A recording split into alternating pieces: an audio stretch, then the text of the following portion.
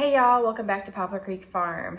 Today I want to talk to you guys about something that's been weighing on my mind a lot and I think is weighing on a lot of people's minds. Um, and that's just the state of the economy and how we can save money, um, especially being a small farm um, homestead. So these are things that a lot of people can apply anyways, um, but some of them are more exclusive to, you know, being, a, being able to have livestock, being able to have um, produce coming in from your own property.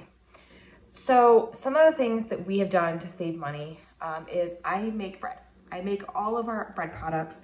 Uh, I make the, you know, our sandwich bread. I make um, bread, bread when we're doing like soups and things, you know, crunchier bread, um, an artisan bread. I make tortillas. I do French bread so my husband can have um, subs, things like that. So I make all of our bread products, which you know, in the in the realm of things, in the big scheme, it does it save us tons of money? No, but it does save us some. Um, and every little bit that we can do helps. So every week I make at least one batch of sandwich bread, which is two loaves. Um, and that helps a lot. And as you can see back here, I've got my sourdough going as well. I killed off my last sourdough just because in summertime, um, it was so busy. I didn't have time to really like feed my sourdough well. Um, and so it just got away from me. So I have started again and it's so far so good. Don't want to jinx it, but it's been doing well so far. Um, and I'll have sourdough bread going and we can make a lot of things with sourdough which that we don't have to have yeast for, which is really nice. Um, I mean, some recipes where you use like discard, you do need some, you know, commercial yeast, but it's still less. Uh, I'll make pancakes with it. I will make, you know, all of our rolls. Um, I love, love, love sourdough. We make bagels with it. Um, just so many different things that like I didn't even realize you could do with sourdough before I had my last sourdough starter. Um, and so that's just gonna save us more money just because it's again, making things homemade. So, you know, a bag of, or a loaf of bread, um, especially because we always try to get like the, you know, the natural kind. Um, we typically get whole wheat and I don't make whole wheat bread, but we get, uh, the bread had gone up to like three something a, um, a loaf and a bag of flour costs me, you know, seven, eight dollars, but it makes quite a few loaves. Um, and I don't really need much else going into it. In this sandwich bread recipe, um, it needs some milk and some butter uh, and a little sugar and obviously yeast because I, again, this isn't sourdough specifically, although I do want to get to doing the sourdough sandwich bread again, like I had done before so then I won't need yeast. Um, and I don't remember all of what goes into that one, so it may be different. So there's other things that go into it, and of course, it's, again, not saving us hundreds of dollars a month, but it still saves, it still helps. Um, so those are ways we are offsetting costs. We also have solar panels on our house, and this is not something that we did just now or um, that is changed, but we do have 20 solar panels on our house, which is about an 80% offset. Last summer was a very rainy summer, so we didn't have a ton of offset, obviously, because there wasn't as much sun. This summer was dry and sunny, very, very hot and sunny. So we should have a good amount of um, electric net metered so that we can use that through the winter. Um, I'm hoping we can get through like January without having an electric bill other than we have our connection fee. And then obviously come like April, uh, May, we start to, you know, produce solar again. Um, so we net meter with our company, with our uh, with National Grid. So basically whatever we overproduce, they bank for us and then we get it back when um, we're not able to produce as much. So obviously like this time of year. Like today it's like super foggy out right now. It's supposed to be sunny later, but it is very dense fog. You can't even see out the window. Um, so that's a way we save money. The other way, so I'm bundled up in my house because we are not turning on our furnace right now. We have a propane furnace and propane has just gone up. Propane, oil, natural gas, all of them have gone up so much. So last year, it went up about 50% from the previous year. Now we filled it a little bit less last year. I think we filled it one less time than we did the year before. So probably equaled out, you know, close to amount um, year to year but this year we're gonna try even more than we did last year to rely on our wood stove. Um, so unless that's a really cold day, like today the high is 63. So my house right now is like 62 degrees. Um, and that's just from overnight, you know, the cool down overnight. unless it's, you know, the highest 40s, 50s, we're not using any form of heat. We're just bundling up. I got my fuzzy socks on. Um, we're just trying to stay warm in other ways.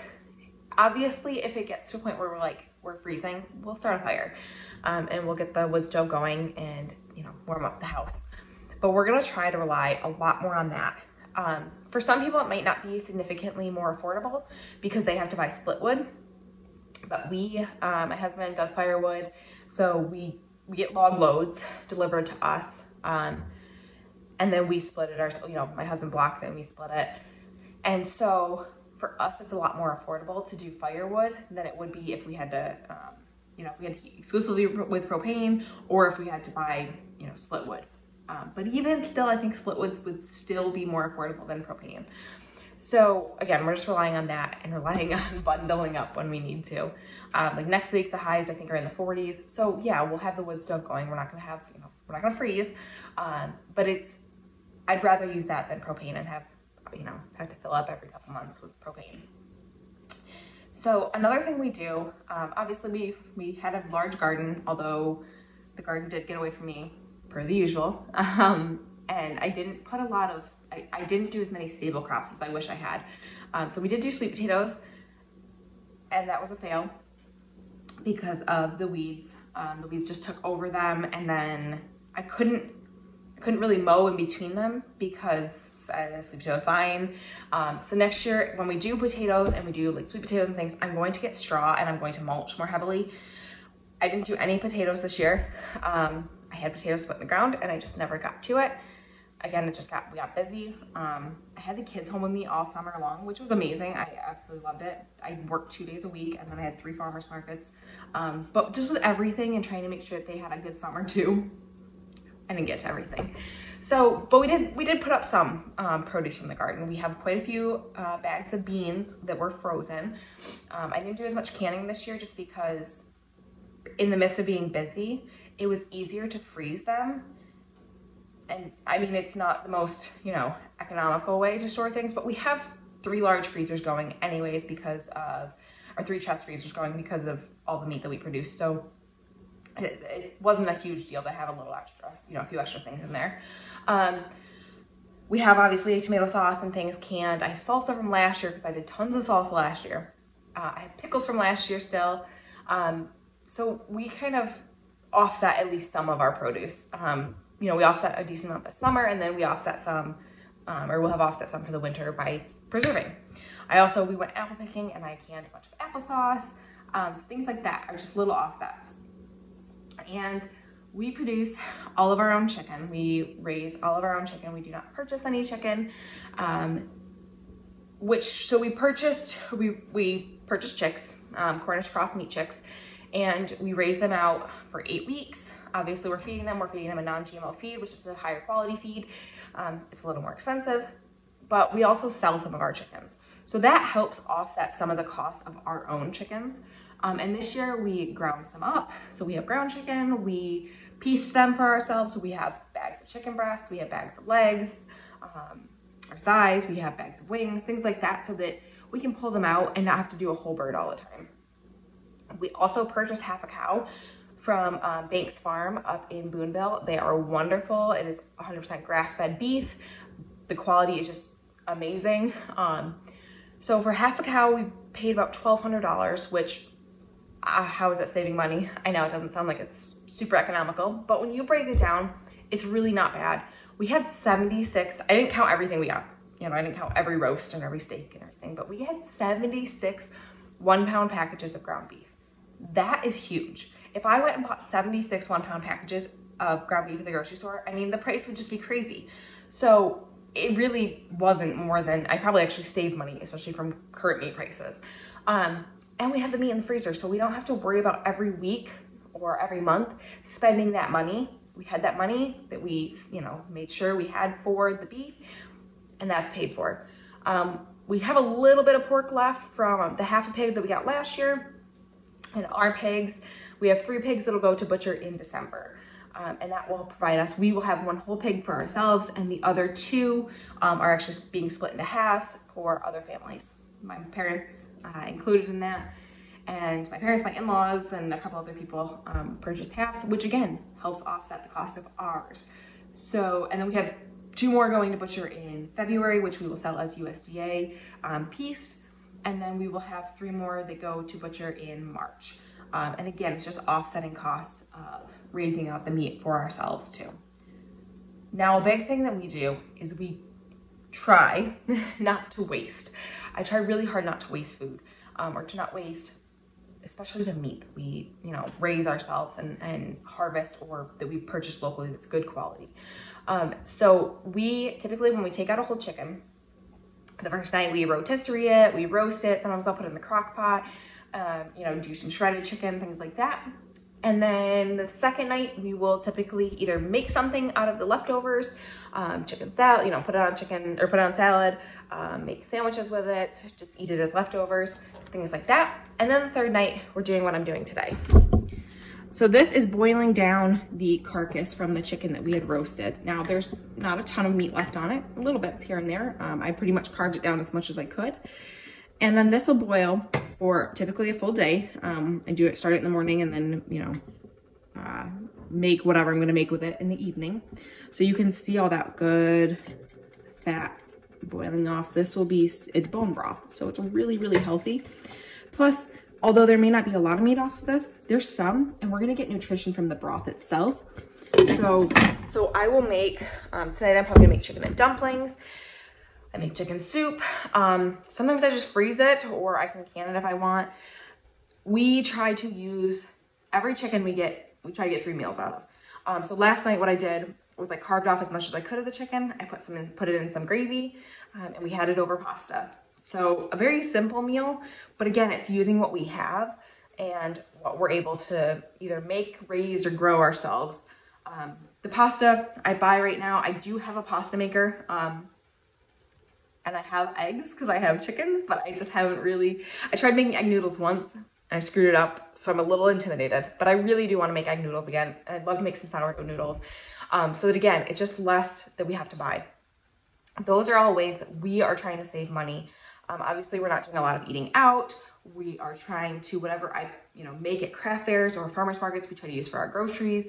Um, things like that are just little, little ways we can offset our costs. And next year, I'm hoping my garden will be, you know, amazing and I will have a lot of staple crops to get us through the winter because, you know, they're, although right now everything is super high in costs, I think we are going to go into a bit of a recession. Um, and so demand will be down, so prices should go down some, but I don't want to rely on that and I don't want to hope that that's going to happen. Um, I kind of rather secure it for myself and my family uh, going forward also secure things like doing more um, perennial crops. We have our apple orchard, um, you know, our apple trees, we have our peach trees, we have elderberry, we've got blueberry, raspberry, um, we have wild blackberry. So just doing more perennials. I've asked my parents for Christmas, instead of buying me like any other gifts or anything, I'd really just want some, some trees. Uh, I really would like some cherry trees. That's kind of, I'd rather get that than something I may use a couple of times. Uh, and we're also, again, that's another thing we're saving money on this year, Christmas. We're doing minimal. Uh, obviously, I make soaps, I make candles, I make lip balms, lotions. Um, so that's what gifts are going to be for a lot of people. Um, maybe some meat, you know, if we, especially if we get our pigs back, um, meat will be a gift. Things like that where we can save ourselves having to go out and buy a gift. Um, my kids are going to have less this year for Christmas, and that's okay. They don't need much. Um, last night I picked up two games and we had a blast last night playing games uh, and had a family game night. Little things. So that's all we're gonna, those kinds of things are what we're gonna do for Christmas this year. More of memories than items. So I hope this helps you guys, gives you guys some ideas to save some money. Um, if you guys have more ideas, please leave them down in the comments. I'm always open to more ideas. I am trying to think of everything I can do to save money this year and Oh, one other thing I'm doing is I contacted a local farm um, that I am I'm friends with um, to ask if, hey, at the end of the season, if you guys don't have somebody who's gonna come and pick up some pumpkins, extra pumpkins, let me know. That's feed for my pigs, my chickens. Um, they will gladly eat pumpkins. And they said, yep, come with a truck and get as much as you want. So I'm really excited for that. And again, it's just reaching out and knowing your resources and, and utilizing them. So thank you guys so much for hanging out with me today. Remember, we're going today for a better tomorrow. Please like and subscribe and join me on the next one.